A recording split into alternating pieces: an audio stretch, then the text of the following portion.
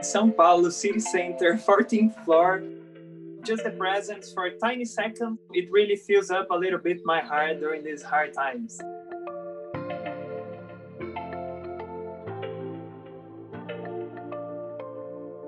Welcome to My Place on Earth, a series where I'll be meeting nature enthusiasts from around the world who want to share their amazing wildlife on their doorsteps.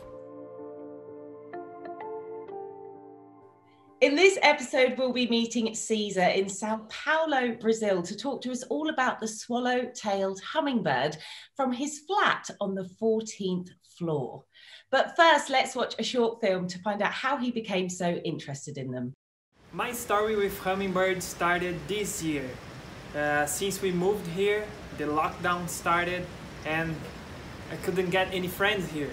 So my idea was to bring the hummingbird feeder and it started to come. It's a very special species. It's called swallow-tailed hummingbird because of its tail. Here in Brazil, we call it Caesar's hummingbird because exactly uh, the shape of its tail looks like a Caesar. Initially, this one, it just looked like a black hummingbird, but then when the sunlight was shining on it on the right direction, I could see uh, the bright of the green feathers and the blue feathers.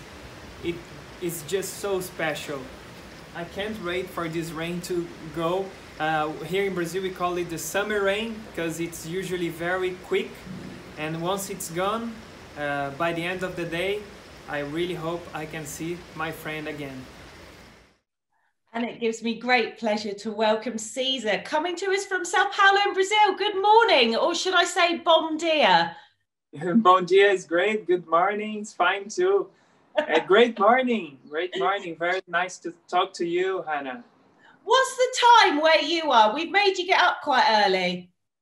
well, right now it is 6.50. It's 10 to 7 in the morning, but it's the best time to see hummingbirds, so hopefully we'll get them here.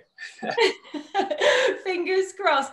So listen, for some people that might not know that many facts about hummingbirds, can you tell us some of their about their special adaptations? Of course. So their heart is so big. The heart is 20% of the weight of the body. In comparison, our heart is between half and 1%. Um, and they have to have this big heart because the metabolism is so fast. They need to pump a lot of blood. They spend a lot of energy during flight. You can see that. They can flap their wings up to 80 times in a second. It's just so fast. They're the only bird, aren't they, that can fly upwards, downwards, backwards, forwards, and that their wings are incredible. How are they able to do this? Exactly. Uh, well, there are many adaptations for that. For example, their shoulder joints allows the wings to rotate 180 degrees. It's different from any other birds. Uh, some people say that they don't flap their wings; they rotate their wings, so they can go uh, forward and backward. And as it's so fast, they can even hover during flight. I was reading, don't they? They reach speeds of up to 35 miles per hour, but when they're diving, isn't it something like 59 miles per hour, which is incredible when you think about the size of them. They're just so fast. It's like a bullet, isn't it? and when we talk about their fighting, you see the dive flying. Now, this is an incredible clip. I mean, how, how many hummingbirds were in that one spot there? this is a very special uh, place in the Atlantic forest that I visit every year. Every year, and in this spot, there are many species of hummingbird. And at that time, maybe there was there was 20 or 30 individuals. In one day, we can see more than 100. This is the ruby hummingbird. You see the, yeah, the really yeah. beautiful neck.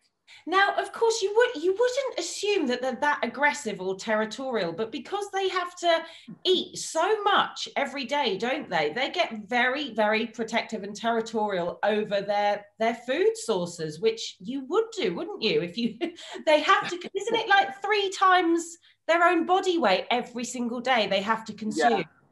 They eat a lot. They eat a lot. They visit more than a thousand flowers in one day.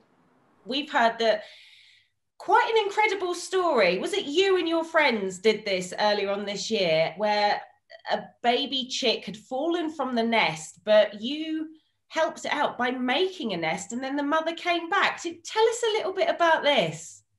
Yeah, it was a very special day. So you see this little chick, it fell from the nest. Yeah, the chick stays like for three weeks in the nest before flying, but this one felt a bit before. So we had to help it. We we got it. you can see the, the blue feathers. It's just such a cute chick. It allowed us to get really close to it. So Beautiful. we built, yeah, we built a nest with grass. Uh, we got some dry grass from the ground, from the from the from the garden, and we built it. We we left some sticks for it to to balance. It, it just got so used to us, and we were just hoping so much for the mother to to come back and start feeding it again. And there she is. Wow. She came so- back for so it. it worked. they're so attentive.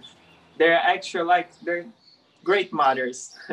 she came back, she started feeding it again and visiting the this chick many times during the day. And after a while, uh, this chick started flying, started flying, and, and today she's healthy. I, I say she, I think it's a she, I don't know. she's healthy, she's strong, and she's coming back to uh, my friend's house. He can still see her and he can identify her. So having these hummingbirds on your balcony, it really is nature on your doorstep. And what a treat. But I mean, it's been such a privilege, I guess, for you to have them there all the way through lockdown. I mean, what has it meant to you having them? Well, as a biologist, nature enthusiast, I always love to spend time with animals. So during these times here in São Paulo city center, 14th floor, lockdown times, quarantine going on, we were missing a few friends. Like we can get human friends, but with the hummingbird feeder, we could get this hummingbird friend. And it's really important for us. For example, when we're here at the balcony reading or having lunch or during a meditation in the morning, which curiously is called humming meditation. It's just so special. It's just so special to get the hummingbird here. So it really fills up a little bit my heart during these hard times. Well, listen, thank you so much for joining us today. We really, really appreciate it. So thank you. Yeah, thank you very much, Anna. It's, it's such a pleasure to talk to you. Hummingbirds on the balcony, it doesn't get much better than that, does it? But that's all we've got time for today. So join me next time where I'll be discovering another incredible part of the world with some amazing wildlife.